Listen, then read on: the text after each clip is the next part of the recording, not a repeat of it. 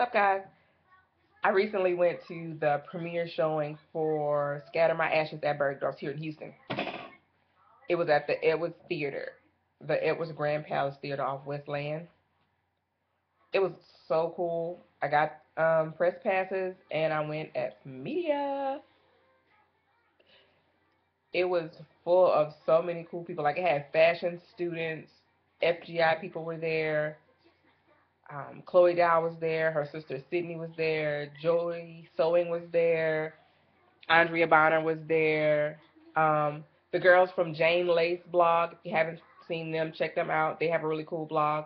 The girls from Jane Lace. Um, Shalanda Turner from Live Life in Style. Who else was there? There was like a whole bunch of people. Yesenia Flores, she was there. She has a really cool blog. Check her out if you haven't. But it was just a whole bunch of fashion and fashion people there, and it's not open yet. So regular, you know, it's not open to the public yet. So it was real cool to get like behind the super early access passes. So we went to see it.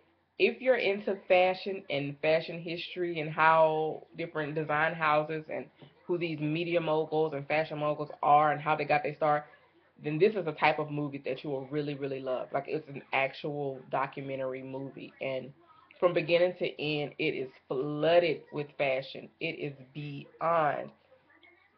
It shows the Alexander McQueen collection. It talks to Jason Wu. You see um, Ashley, Mary Kate and Ashley Olsen on there, and they're talking about how they got in and their line, and they talk about their line, the row, and, and just it's awesome. And they talk about how they go and pick designers because of their creativity and then you see behind the scenes where they're doing the windows in the Berg the Bergdorf windows that are people in New York, and they're like, how many people come by and see the windows? Because these windows are so beast, like these windows beast, because there's nothing else like it.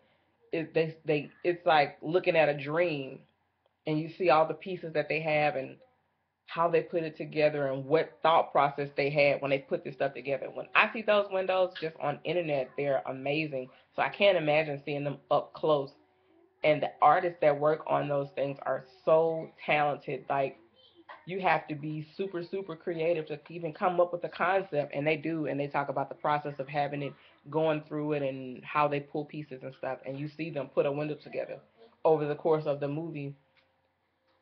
I can't say much more than that, but if you're into fashion, you have to go and check it out. It is so super dope. It is beyond. Like I would take my whole all of my friends, and a lot of them aren't into fashion, but I still think that everybody could enjoy this movie. So whenever it comes to your city, whenever it opens, go and check that out. Um, I also uploaded a slideshow of the pictures from that night. So if you're kind of browsing around, check it out. But remember, like, rate, and subscribe down below.